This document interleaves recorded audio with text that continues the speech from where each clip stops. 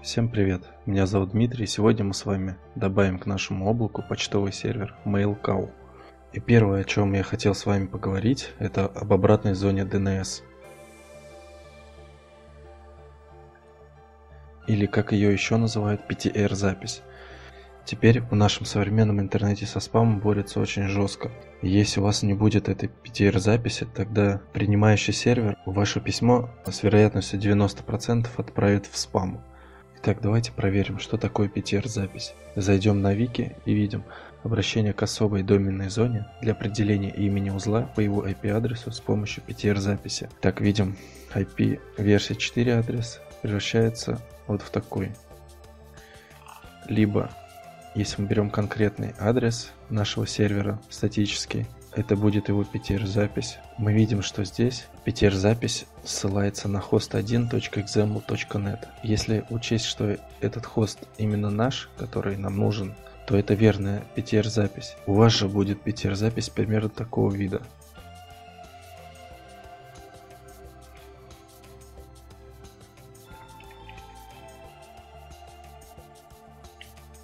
Это ваша будет PTR-запись, которую вы получите от вашего провайдера.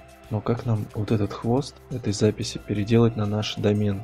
Делается это очень просто и в то же время сложно. То есть вам нужно связаться с вашим провайдером и уточнить такую возможность добавления PTR-записи к вашему статическому IP-адресу. К примеру, провайдер MGTS предоставляет такую услугу. Но есть куча других провайдеров, которые остаются под вопросом. Поэтому, прежде чем создавать ваш почтовый сервер, вы должны выяснить, возможно ли к вашему статическому IP-адресу добавить PTR-записи вашего почтового домена, то есть mail.example.com ру, к примеру.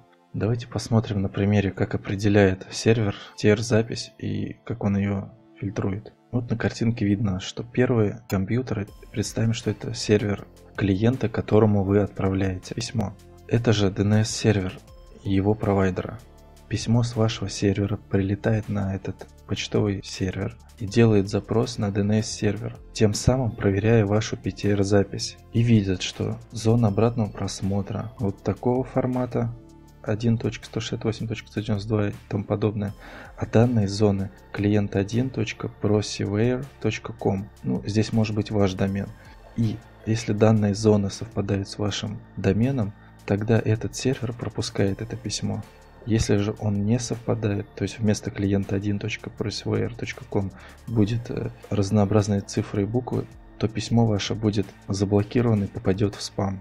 Давайте представим, что наш провайдер запретил добавлять PTR-запись нашего домена к нашему IP-адресу. Но на это тоже есть выход. Мы можем арендовать дешевый VPS VDS сервер буквально за 3 доллара в месяц также сразу советую уточнить в техподдержке про PTR-запись. Если все нормально, вы просто вешаете почтовый сервер на облачный VDS. Устанавливать мы будем по инструкции из интернета. Это сайт its-life.ru. И первое, с чего мы начнем, с установкой Docker Compose на наш сервер. Так, перейдем к инструкции. Подключаемся по SSH к нашему серверу и устанавливаем Docker Compose.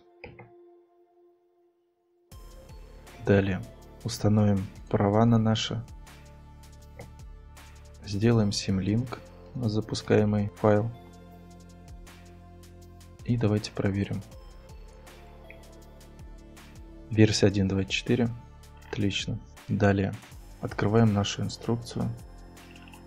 Если вы используете вашего домашнего провайдера, то вам нужно будет открыть вот эти порты. Как это сделать, сейчас я вам покажу на примере провайдера MGTS.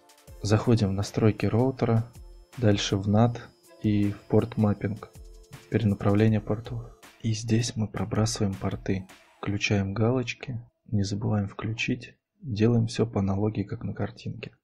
Сохраняем и применяем. Далее нам нужно также сделать все записи для нашего почтового сервера. Это делается на вашем домене. Заходите в управление зоной DNS и далее делайте все записи на ваш домен. Это автодисcover TCP, тип записи SRV, единица, потом дальше идет порт и дальше почтовый домен. Также CalDevs, CardDevs, DMARC запись.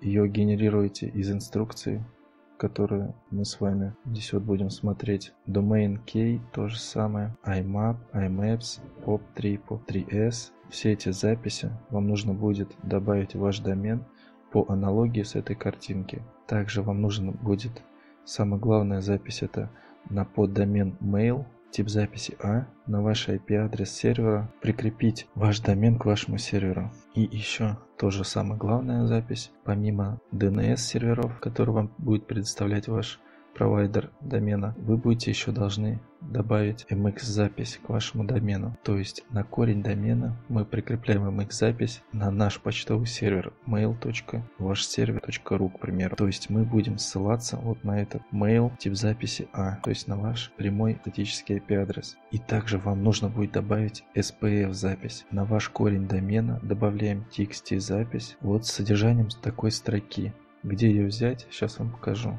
Заходим в SPF Wizard, вбиваем ваш домен, здесь добавляем ваш IP-адрес и предоставляем разрешение на вот эти вот пункты. Подтверждаем и подтверждаем. В верхней строке у вас будет генерироваться ваша SPF запись. Ее мы копируем и добавляем в нашу зону DNS. Итак, давайте перейдем к установке. Клонируем репозиторий.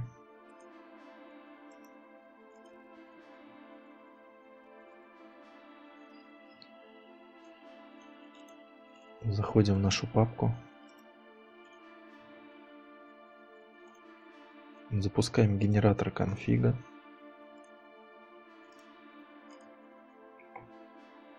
Вводим наш почтовый сервер, к примеру, mail. почтовый сервер call.ru таймзона Moscow. Здесь он спрашивает, включать ли антивирус для вашего почтового сервера. Если уже он у вас слабенький, то лучше не включать. Я не буду этого делать, но если у вас почтовый сервер достаточно мощный, лучше это сделать. Так, мы сгенерировали конфиг. Давайте его отредактируем.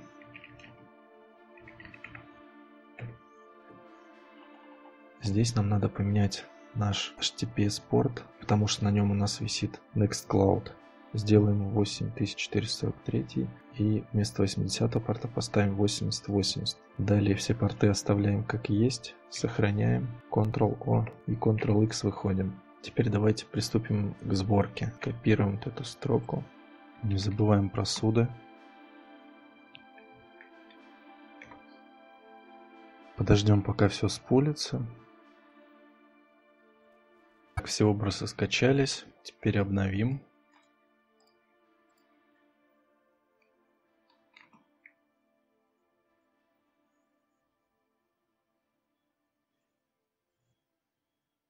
Так, подтверждаем.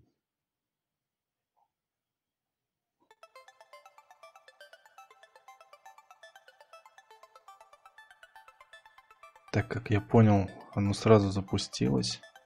Установим докер compose и запустим заново.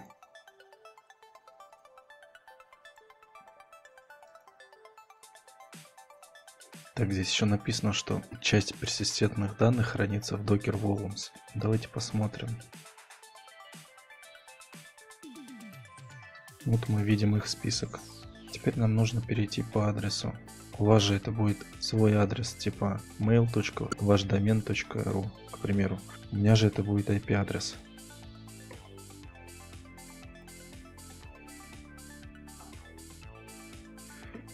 Так, мы попадаем в панель управления Mail Выбираем русский язык.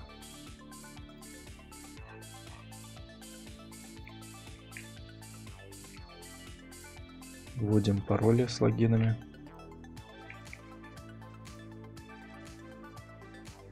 И попадаем в панель управления. Здесь написано, чтобы не ругался на сертификат, меняем его в конфигах Postfix на свой. Для вашего домена mail.вашдомен.ру вы можете получить сертификат через Let's Encrypt.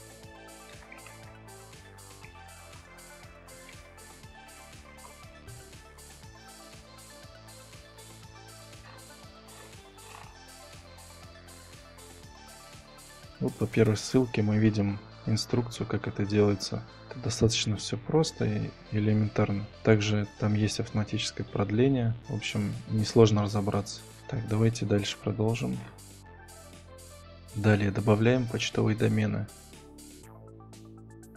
Сразу можем изменить имя пользователя на уникальное.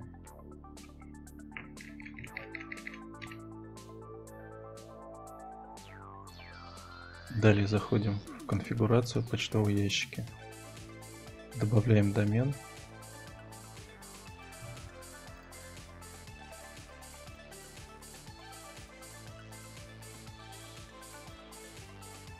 Так, добавим домен и перезагрузим панель доступа к почтовому ящику. Так, создадим почтовый ящик.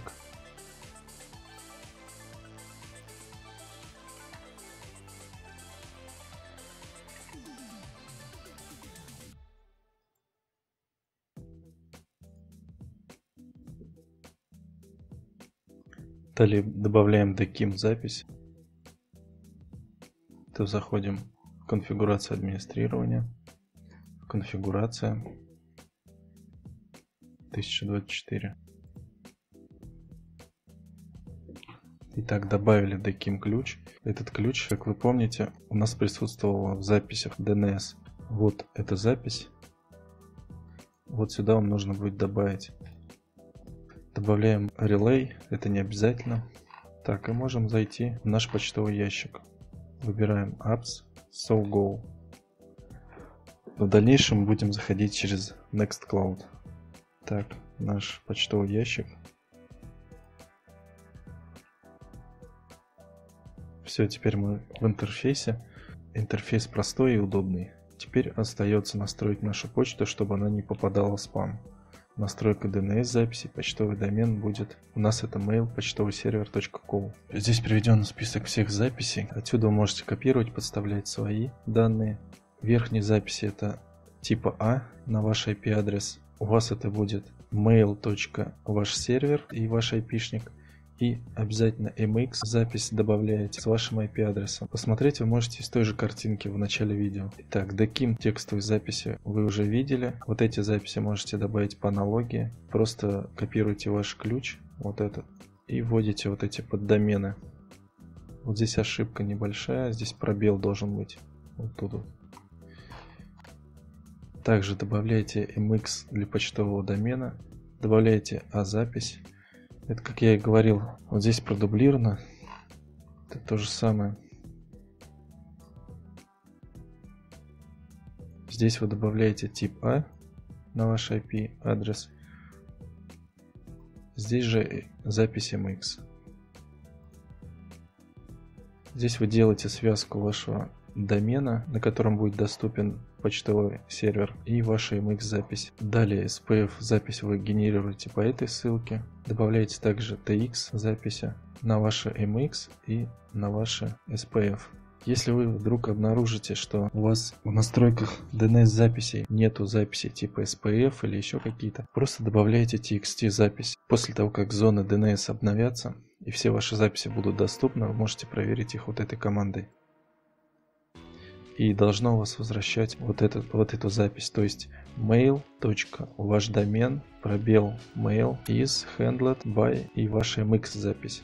Проверите demark запись вы можете этой командой. Далее, в принципе, не обязательно, но стоит это сделать. Это вы регистрируете свой почтовый сервер в почтовом сервисе Google. Также добавляете TXT запись, предоставленную Google, в ваш домен и нажимаете далее. Проверить все ваши настройки вы можете на сайте mxtoolbox.com. Давайте проверим, к примеру, subarumotor.ru. Как мы видим, здесь не добавлены демарка записи. И вы можете здесь же проверить свой адрес на blacklist. Если у вас по каким-то причинам ваш IP-адрес попал в blacklist, то вы удаляете из списка. Как это делается? Вот, допустим, IP-шник попал в список касса. С правой стороны здесь будет remove. Просто жмете и проходите по инструкции. Теперь, чтобы подключить наш почтовый адрес к Nextcloud, переходим в приложение. Далее в офис и текст. И включаем приложение Mail. Теперь сверху у вас появился конвертик, почта. Заходим в него и вводим наш e-mail. И далее у вас открывается красивый интерфейс, подобие вот этого. теперь я вам расскажу про сайт mailcow.github.io. Это документация для почтового сервера. Здесь вы можете найти подробную информацию по установке, по обновлению, по миграции, первые шаги, к примеру, получения сертификатов, и прочую информацию, которая вам может пригодиться. На этом мы закончили настраивать наш почтовый сервер. Если у кого-то возникли вопросы, можете задавать в комментарии. Всем спасибо, кто смотрел видео, а в следующем я расскажу про базу знаний. Всем спасибо, всем пока.